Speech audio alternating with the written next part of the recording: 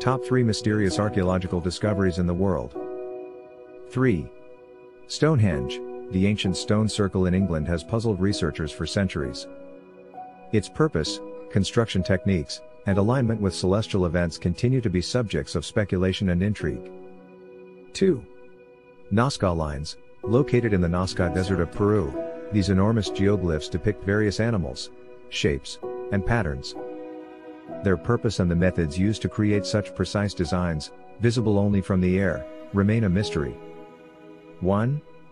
The Terracotta Army, discovered in China, the vast collection of life-size terracotta soldiers, horses, and chariots guarding the tomb of Emperor Qin Shi Huang is a testament to ancient craftsmanship and military organization. The purpose behind their creation and the full extent of the tomb complex is still being explored.